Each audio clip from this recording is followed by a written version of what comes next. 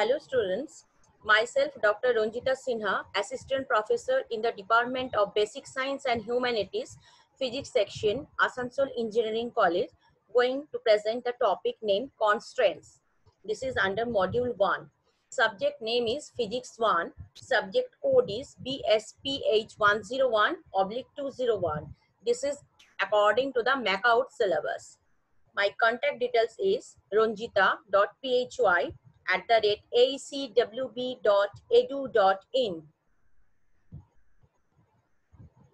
Now, we will discuss what is constraint or restriction or what is constraint force. For a rigid body, the distance between any two particles remains constant by the internal forces acting between its individual particles. The magnitude of these internal forces are not known, but its effect is known. That is, that makes the particle separation distance constant. These internal forces, which keep the particle separation constant, are known as forces of constraint.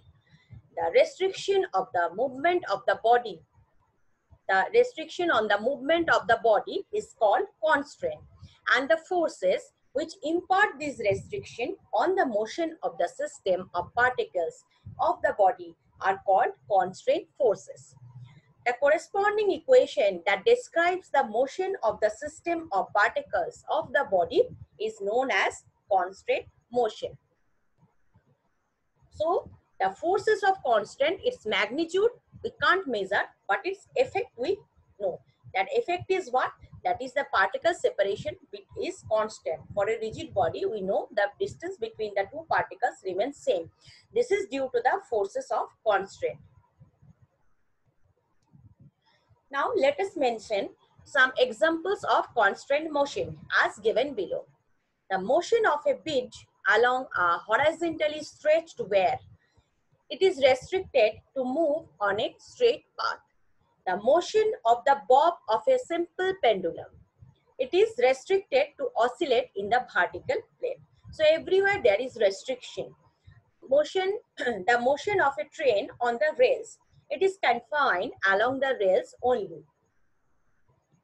The motion of gas molecules which are confined in a container that is here, the motion is restricted by the walls of the container. The motion of a rigid body is such that the distance between only two particles of the body remains always constant. So these are the examples of constrained motion. Now to describe the motion of a body in space, we require three coordinates. But to describe the motion on a straight string, we require only one coordinate. Thus, if we impose constraints on a mechanical system, we can reduce the number of coordinates required to describe the motion. The coordinates imposed on the system by the constraints can be written down mathematically as a relation satisfied by the coordinates of the particles of the system at any time. This is the way in which the constraints imposed on a system reduce the number of coordinates needed to specify the configuration of the system. Now let us consider as an example the motion of a simple pendulum which is confined to move in a vertical plane. Now we need only two coordinates in Cartesian coordinates and what is what are the coordinates in Cartesian system? That is x and y. And in polar coordinate, with the coordinates are r and theta. Here we need, so for here, for here means here, for simple pendulum. For simple pendulum, we need two polar coordinates r and theta to locate the position of the bob at any time with respect to the point of suspension. The constant motion of the pendulum is the distance small l of the bob P from the point of suspension O. That is always remains constant. So in constant motion, the distance L, that is the L of the bob from P to O. So here, that, that is the distance L of the bob from P position to O position. This is the motion of a simple pendulum in a vertical plane. In this figure, it is shown. So from P to O, the distance is written as small l. And it is constant. And the distance is always constant. The mathematical expression of the constants when expressed in Cartesian coordinates that is written as x squared plus y squared equal to L squared. Now, if it is expressed in plane polar coordinate, we can write it as r equal to L. Now, it has been observed that the mathematical expression describing the constraint is simpler in the case of plane polar coordinates. Only one coordinate is sufficient to describe the constant motion, whereas in Cartesian coordinates, we require two coordinates, x and y. So here, the choice of the of a suitable coordinate system is very much important in describing the constant motion.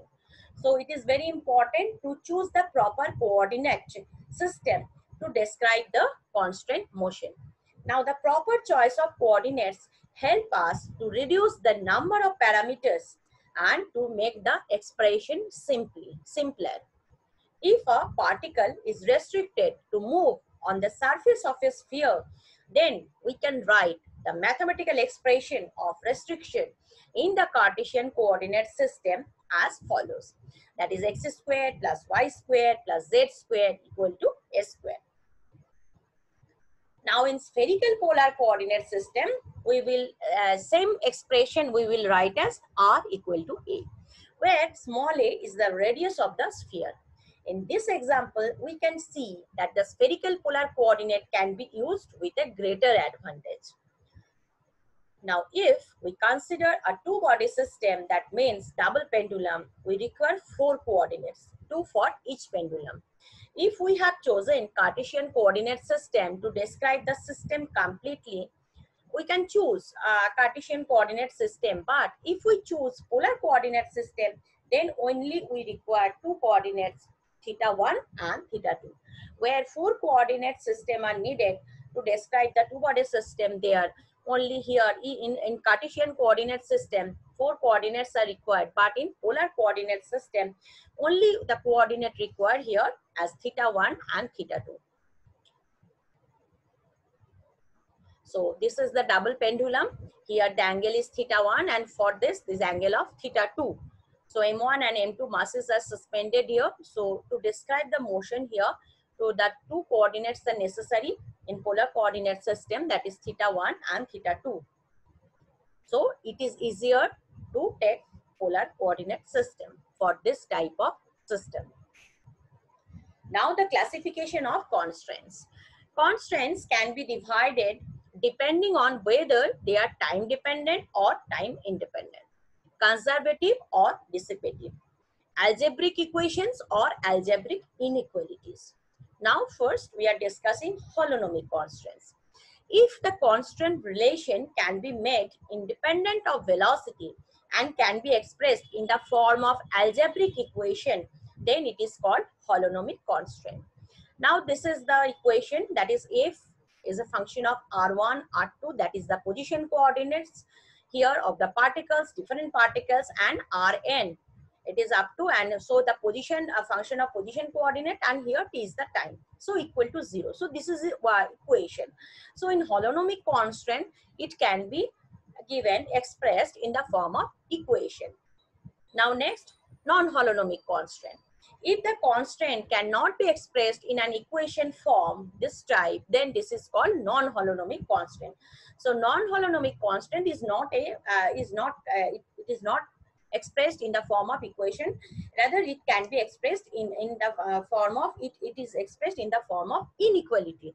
So equation is not here so inequality comes here. So these are the uh, this is a non-holonomic constraint now next uh, constraint is scleronomic constraint if the constraint relations do not explicitly depend on time then it is called scleronomic constraint next rheonomic constraint if the constraint relations explicitly depend on time, then it is called rheonomic constraint, that is time dependent.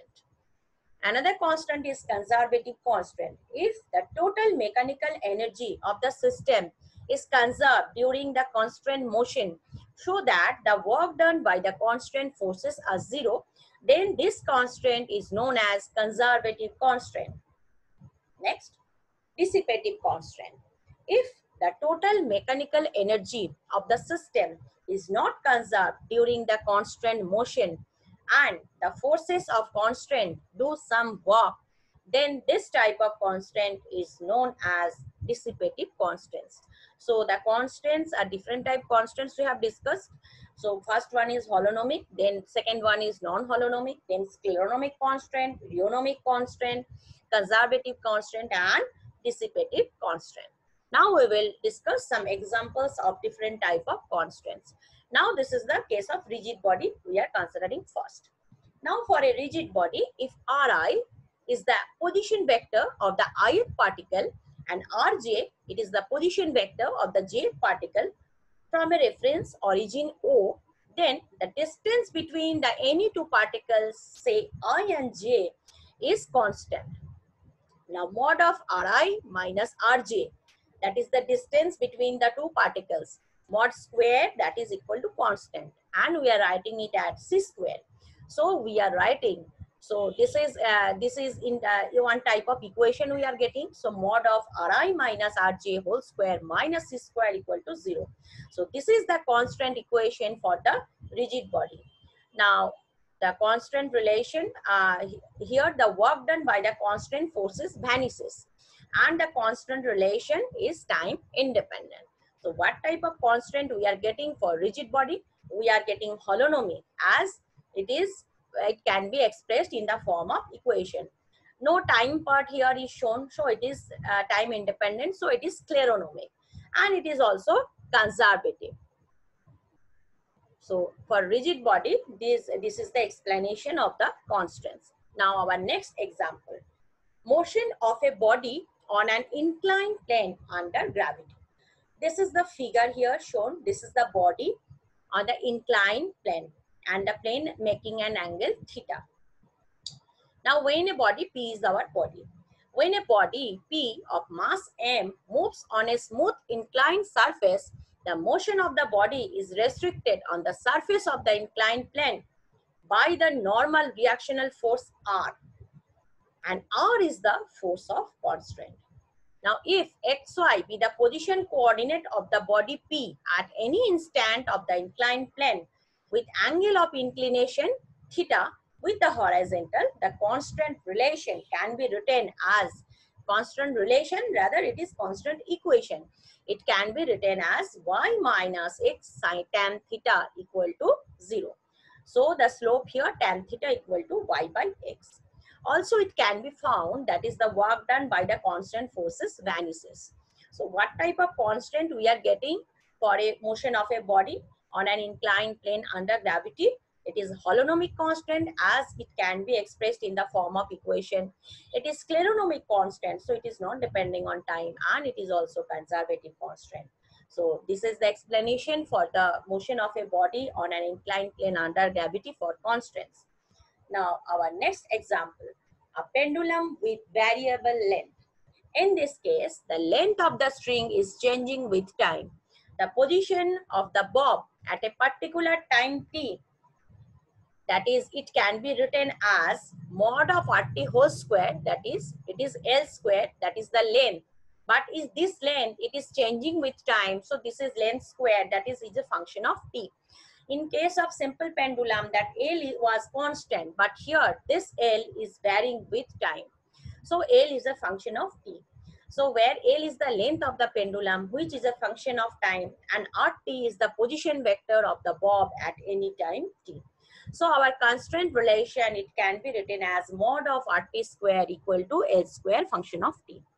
Here the work done W by the constraint force T is not zero. So the constraint becomes here holonomic as it can be expressed in the form of equation, but it is a rheonomic. Why? because it is depending on time and it is also dissipative, not conservative, as the work done by the constant forces is not equal to zero. So this is the these are the constraints for pendulum with variable length. Now, particle fixed on a surface of a sphere.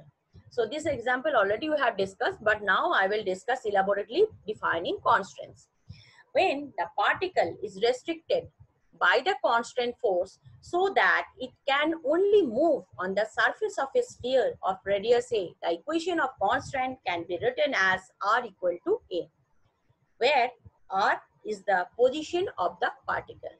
So the constraint must be holonomic, scleronomic and conservative as it can be written in the form of equation. So this is holonomic constraint and it is also scleronomic. So it is time independent and it is also conservative.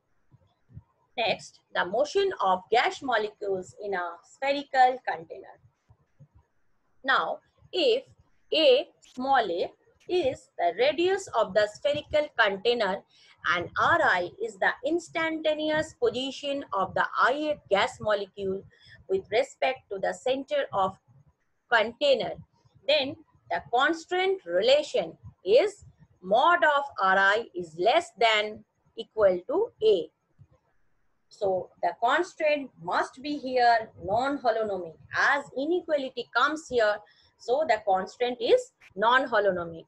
As it is time independent, so it is scleronomic and also it is dissipative. So inequality is coming. So for that it is not holonomic, it is non-holonomic. It is, uh, it is uh, not holonomic and it is called non-holonomic constraint. Now next, the particle in a cubical box. The particle is restricted by the constraints in such a way that it can move on the edge of the cubical box or inside the box. So again here we are getting the equation of the constraint as inequalities. So the particle in a box, the figure it is shown, this is the particle's position at an instant we are considering. So particle can be anywhere within the box. So it is uh, position is not definite. So x that is greater than equal to 0 and less than equal to a. So x greater from 0 to a greater than equal to 0 and less than equal to a. y is greater than equal to 0 and less than equal to a and z is greater than equal to 0 and less than equal to a. So these are representing non-equalities. So from here we can say the constant is obviously non-holonomic constant and this is conservative constant. So it is non-holonomic. We have to remember as inequality is coming. Now simple pendulum, we always uh, we, have, discussed this earlier, but here we will define the constant with figure and elaborately. Simple pendulum. Now this is the figure of the simple pendulum that is here that is the instantaneous position we are considering that is b. And a is the equilibrium position and here mg is acting in this way. And if this angle is theta then this angle is also theta. So it is mg cos theta this component and in this direction it is mg sin theta. And l that is fixed here. And mass m is the mass of the bob now let us consider a simple pendulum of mass m and effective length l the weight mg of the bob at position B, that is the position B, acts vertically downward and the tension T of the spring maintains the effective length L of the pendulum constant. Now T makes the effective length constant. Now if small xy is the position coordinate of the center of the bob at any instant with respect to the origin O. So here this is the position xy instantaneous position from the origin O at the point of suspension, then we can write the constant as x square plus y square equal to L square. Now here that is uh, x square L cos theta, L square cos square theta plus L square sin square theta. We are getting it equal to now it is cos square theta and sin square theta equal to 1. So x square plus y square equal to L square. Now therefore the constraint here is holonomic, scleronomic and conservative as the work done by the constant force is zero. So as it is uh, expressed in the form of equation, so it is holonomic constant. It is also scleronomic because it is not depending on time and it is conservative as the work done by the constant force is zero. Now next, any deformable body For a deformable body, the shape of the body can change according to a certain prescribed function of time. So, for any two particles, ith particle and jth particle, the position vector Ri and Rj respectively, that is, it is, we are, if we take the Ri and Rj, that is the position vector of ith particle and jth particle, then the constraint relation, we can write it as mod of Ri minus Rj equal to function of T. So, that is deformable body. So the distance between the two particles, it is not fixed. It is depending on time. With time, the distance between the two particles that is changing. So it is function of time. So we can write this in the, this form of equation. Hence, the constant forces do work as the shape is changing with time and the constant relation is a function of time. So for deformable body, it is holonomic constant as it can be written in terms of equation. So it is called holonomic constant. But it is rheonomic, not scleronomic. Rheonomic, why? Because it is time dependent. The distance between the two particles, it is depending on time, function of time. So it is rheonomic constant and also it is dissipative constant. Now this is for the deformable body. Now up to this, we have discussed that is the different constant relation of different systems. Now, we have to know the relation between the degrees of freedom and the constraint. Now, first we have to know what is degrees of freedom. If the total, that is the uh, number of independent ways by which a dynamical system can move without violating any constraint imposed on it, that is called the degrees of freedom of the system. So the degrees of freedom can be defined as the minimum number of independent coordinates which can specify the position of the system completely. A system of n free particles has 3n number of degrees of freedom as three Cartesian coordinates are required to specify the position of each particle. So for Cartesian coordinate system, 3n number of degrees of freedom it is needed to specify the n free to uh, specify the system of n free particles. 3n number of degrees of freedom exist. But if the distribution of the particles of the system be fixed to maintain the constant motion of the system, then the number of degrees of freedom will be less than 3n. Due to constraints, all the 3n number of coordinates are not all free or independent to each other. So if a system of, for a system of n free particles and it has small f number of constraints or the number of constraint equation that is small m, then the number of independent coordinates will be 3n minus m. So degrees of freedom is reducing if the number of constraints are increased. So if it is for a, a n, n free particles, the degrees of freedom was 3n. But here, if there are n m number of constant equations, then the degrees of freedom will reduce from 3n and will be reduced and will it will reach to 3n minus m.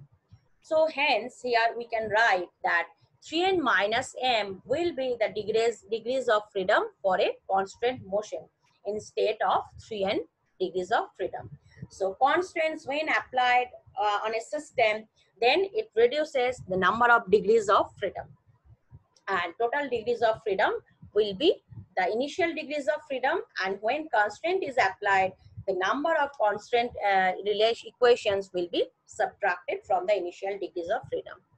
So this is the relation between the degrees of freedom and constraints. So if constraints in, is increased, then the degrees of freedom decreases.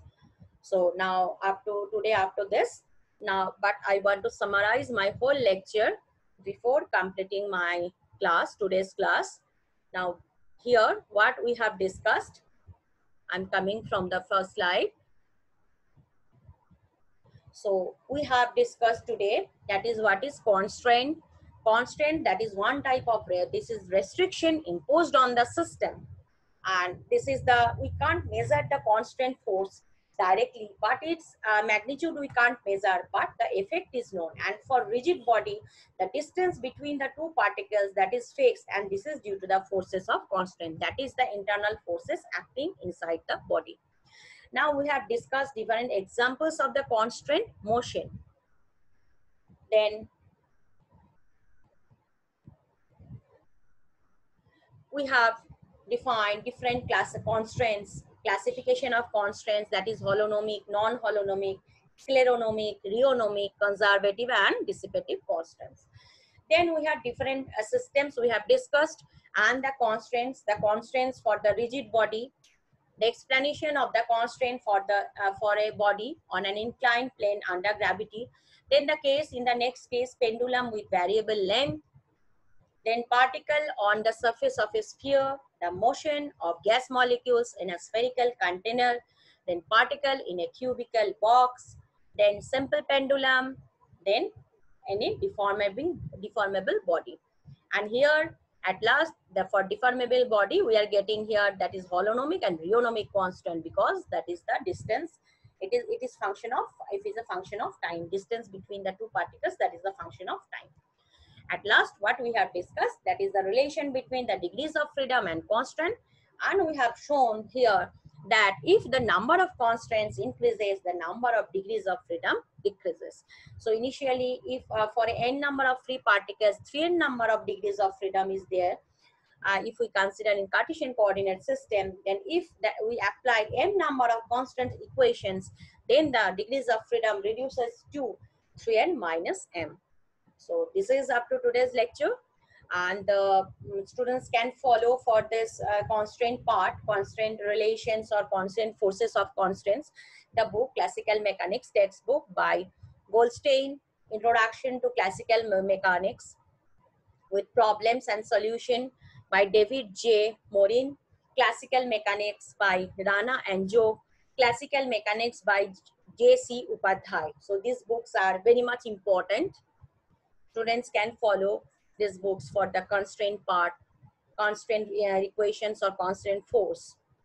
Now, thank you very much uh, for listening my lecture. If the student have any doubt, uh, then uh, they can contact me in my official email ID.